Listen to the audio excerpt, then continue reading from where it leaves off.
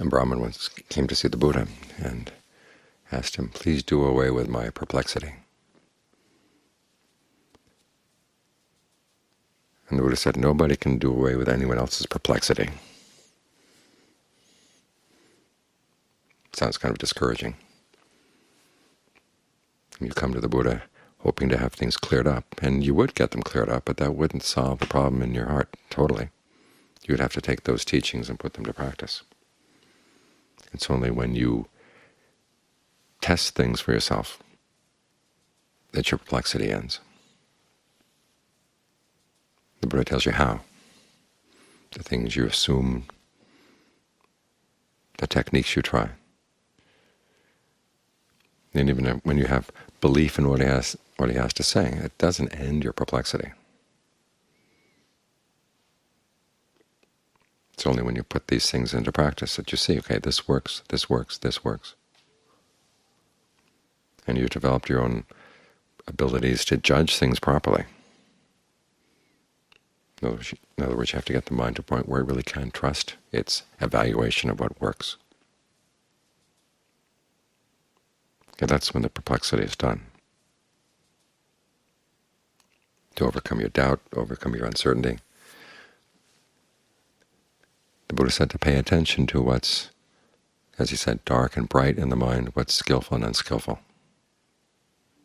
Pay appropriate attention to these things.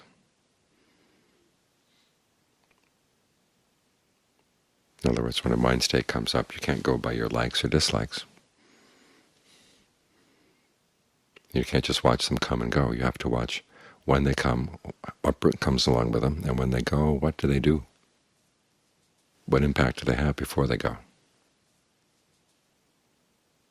And the Buddha himself said he got on the right path when he could divide his thoughts into ones that were skillful and ones that were not. Once he notices something, when he thought it was going to lead to harm, either for himself or for other people, Notice that harm. It's not a question of whether it hurts their feelings or not, or whether they like it or not. But do these thoughts actually lead to harm? A lot of times when your, say, your sensual desires are going to get other people involved in sensual misconduct, that's for their harm. Or when your passion or aversion are intended to give rise to passion or aversion in other people, okay, that's causing harm to yourself and to others.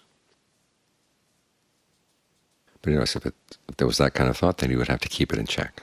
You can't just watch things come and go. Watching things come and go, they call it bare attention, but it's actually in the Buddhist terms inappropriate attention. If you don't have the purpose of figuring out when something is unskillful, then you've got to do something about it. Appropriate attention is said to be basically the seeing things in terms of the Four Noble Truths and figuring out what the duty is with regard to them. And when stress or suffering comes, that's to be comprehended. You've got to look and see what is actually the suffering there in the mind. You have to ferret it out. As the Buddha said, it's, it's something that's not obvious, clinging to the five aggregates.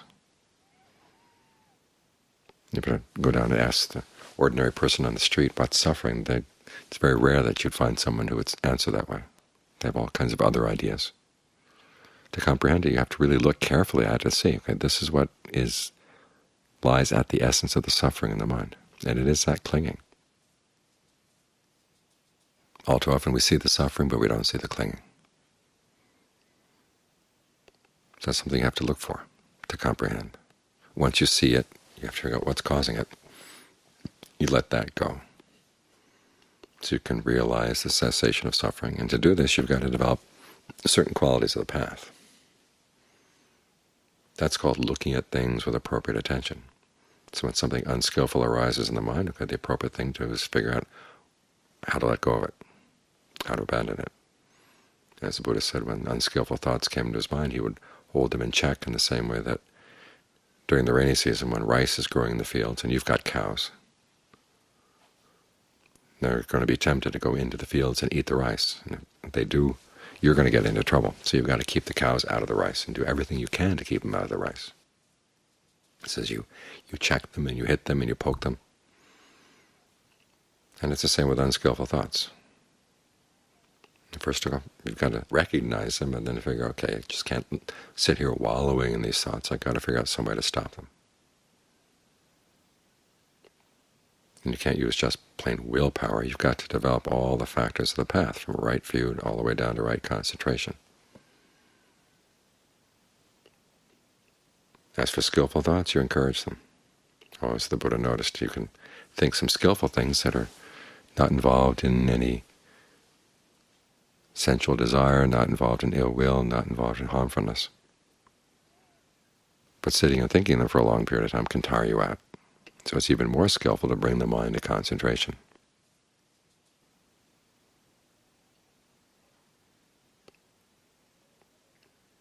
So we do this, even though it hasn't been proven to us beyond a doubt that this is going to work. Still, it makes sense. And we've had some taste that some of these things seem to work. So let's pursue them.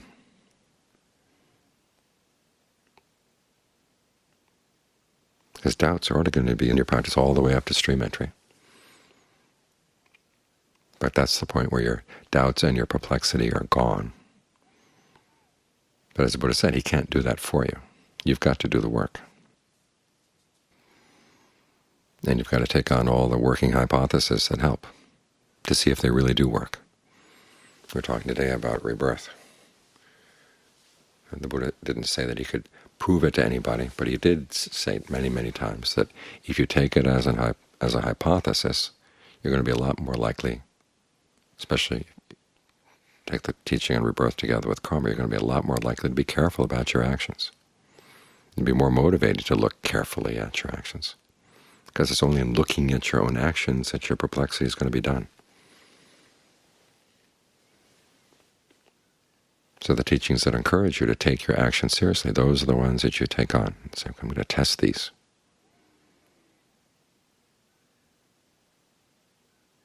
See what this does for my mind. See what this does for the level of pleasure and pain, the level of suffering or well-being that you're going to be experiencing. At the same time, you develop the discernment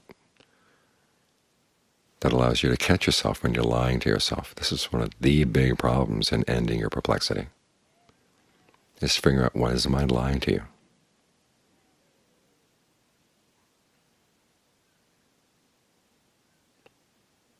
The problem is that too often we like the lies. I mean, you look at political campaigns. Politicians have learned that you, can lie to people, and they're perfectly happy to be lied to as long as it's a lie that feeds some other agenda they've got.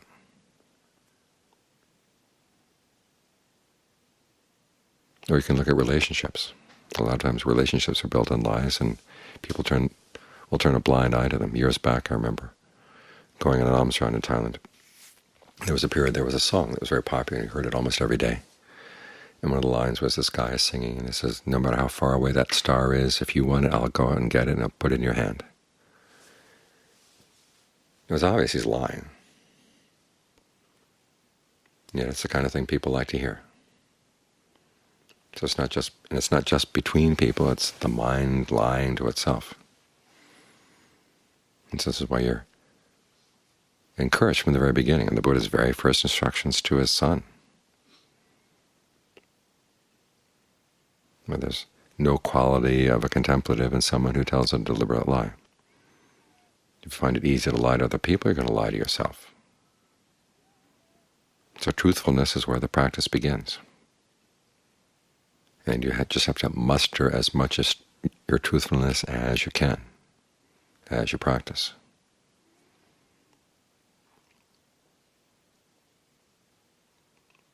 And if your mindfulness develops and your discernment develops, you'll you'll catch yourself lying to yourself on more and more subtle things.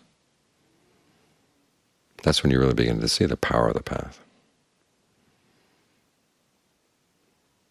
So the perplexity is not something someone else can clear up for you. I mean, you can listen to a Dharma talk and some issues may get cleared up. You can begin to see, okay, this is how this makes sense or how that makes sense or how this connects with that or how you might be able to get around this particular problem but you still don't know for sure until you actually do it. The Buddha says that one of the rewards of listening to the Dharma is that you clear up your, your doubts. But that's if you're actually doing in your mind what the talk is about. If it's just words coming in, and you don't act on the words, they're going to stay just words. No matter how true they may be, they're still just words as far as you're concerned, until you actually put them into practice.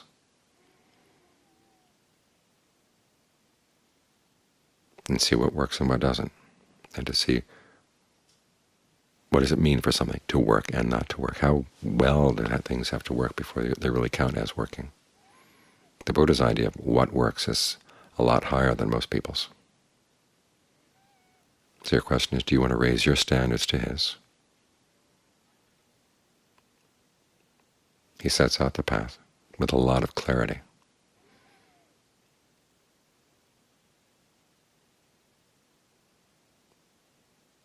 But it's still not clear in your mind until you've actually put it into, put, put it into the test.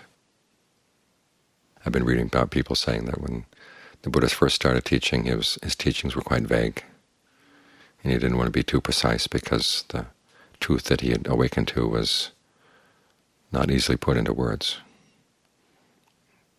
And so he left things vague. And if we want to be in line with his original teachings, we have to let the teachings be vague as well. Well, that's not helpful at all. One of the primary features of the Buddhist tradition is a point that the Buddha made one time. He said that there's a difference between an assembly that's trained in cross-questioning and an assembly that's trained in bombast. The one trained in bombast is where the teacher just says lovely things that may be vague, but the teacher doesn't allow you to ask what, what they mean, and you're not supposed to ask what they mean. Just enjoy the, the beauty of the words and let yourself feel inspired to interpret them, interpret them any way you like. Whereas the assembly training cross-questioning says, okay, what does this mean? What does that mean? How far does this, the meaning of this go? How should I take this? Again, the teacher is there to clear things up as much as possible, so you can get an idea. This is how you test the teachings. This is what the teachings are proposing. This is how you test them. And the more clarity you can get from the teacher that way, the more you have something to put your hands on. You can actually test it. So the Buddha was not the sort of person just to leave things vague. I mean, there are times when he spoke cryptically, but that was to make you think. But he was always open to questioning, even up, even up to the last night of his life, before he gave his final teaching. He asked, are there any questions? And he asked it three or four times just to make sure. He was that earnest in wanting things to be as clear as possible, so that when you were testing something, you knew what you were testing. But as for your own perplexity about it, does this really work? Okay, that's up to you. So try to develop in your mind the qualities that allow you to test things and come out with a reliable judgment. That's a lot of what the meditation is all about. A lot of us come to the meditation just so we can have a place to relax and put down our burdens. And that is an important part of concentration, but there's more.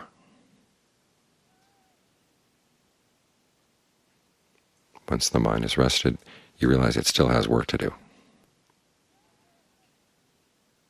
And this is where it lies, in learning how to check where you're still uncertain about things as to what really is skillful in life.